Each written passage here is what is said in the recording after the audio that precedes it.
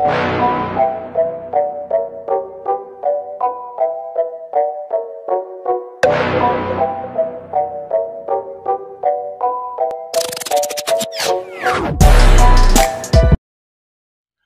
guys, welcome back to the news. This is Bliss Channel. If you are just joining us, please kindly do well to share and subscribe to this channel. And do not forget to give us a feedback. Fire for fire as Nigerian military vows to pursue perpetrators of tragic kill of 17 military personnel in Delta State. So guys, let us quickly hear the content of the report.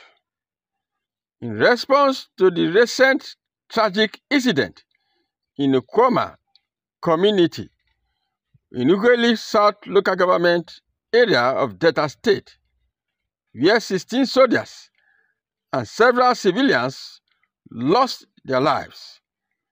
The Defense Headquarters has reaffirmed its commitment to maintaining a strong military presence in the creeks.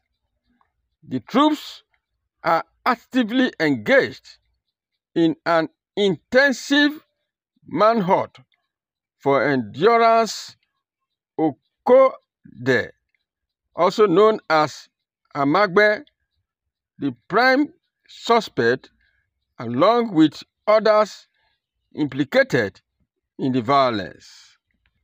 Major General Jamal Abdul Salam, General Officer commanding the 6th Division Nigerian Army, Land Component, Commander of the Joint Task Force, South-South, Operation Delta Safe, emphasized the Army's dedication to the mission during a condolence visit by Dr. Samuel Ogbuku, the Managing Director, Civil Executives Officer of Niger Delta Development Commission. The visit, which took place at the division's headquarters in Port Harcourt Barracks, underscores the gravity of the situation and the need for justice for the fallen soldiers and civilians. Abdul Salam stated unequivocally that the military would remain in the creeks until they have successfully retrieved all weapons looted by the assailant and apprehended everyone involved in the heinous acts.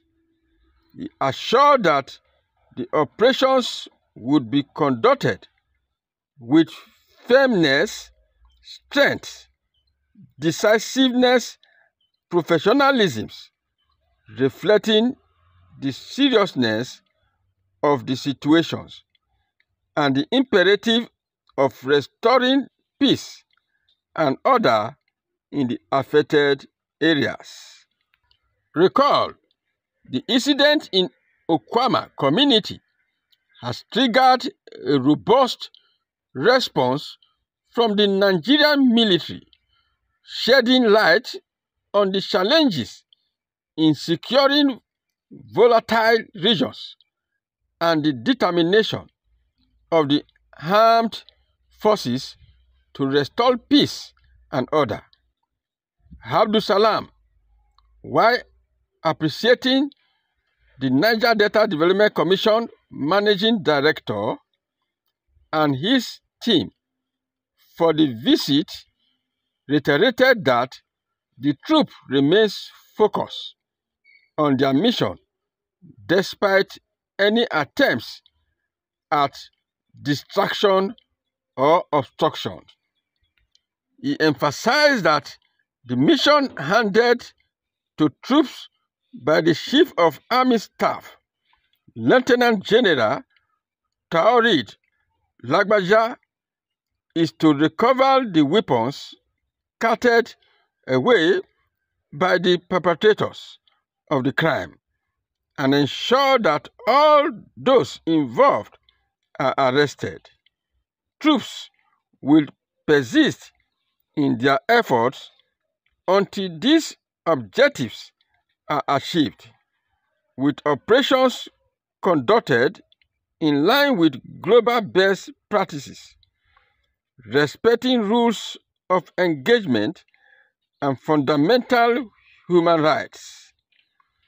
Abdussalam appealed to the public to assist troops in locating the fleeing suspects and the stolen weapons, urging them to provide credible intelligence to aid in apprehending the criminals. He assured the people of the Niger Delta region that troops would not rest until all those involved are brought to justice, emphasizing that the operation is aimed at preventing future attacks on the armed forces and restoring peace to the region.